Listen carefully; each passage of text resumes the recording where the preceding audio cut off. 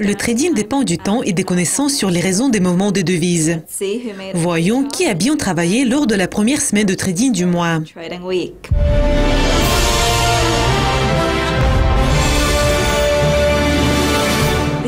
Jeudi dernier, le yen a augmenté par rapport au dollar, mais a rapidement reculé vendredi après l'avertissement du ministre des Finances du Japon que de tels mouvements rapides sont indésirables. Jeudi dernier, Maximas du Nigeria a ouvert une position courte sur la paire du dollar yen et a établi un take profit parfait de 107,90. La position a été automatiquement fermée à ce niveau et le trader a réalisé un gain de 58 pips. Vendredi dernier, la livre sterling a reculé par rapport au dollar après les publications des données économiques du Royaume-Uni plus faibles que prévu. Mais la baisse a été atténuée par la vulnérabilité du dollar qui était liée à la position prudente de la Fed en termes de hausse des taux. Adam FX42 des Pays-Bas a pris une position longue sur la perte de la livre sterling dollar et a fermé la position jeudi dernier quand le stop loss a été déclenché. Le trader a gagné 122 pips.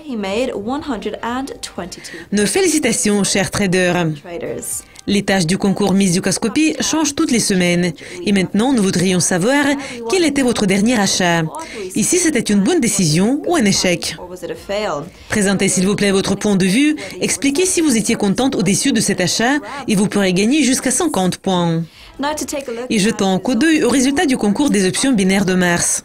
Après six mois de compétition, GPS de l'Autriche a réussi à recevoir près de 40 000 dollars de profit et a atteint le sommet du classement. Il a prouvé que la persévérance porte toujours fruit. Parmi les leaders, nous voyons Atka du Pakistan et Abimil du Rwanda. Félicitations aux trois gagnants et à tous les autres finalistes. Parmi les autres compétitions qui sont organisées sur une base quotidienne, nous avons également le concours de poker qui est intéressant et difficile en même temps.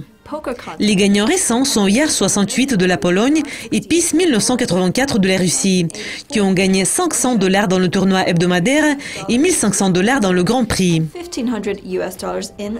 Félicitations à nos deux gagnants. Chers traders, le week-end est tout près. Soyez raisonnables dans le trading. Nous allons nous revoir la semaine prochaine. Restez à l'écoute de Lucascopy TV pour découvrir plus de nouvelles financières. Au revoir.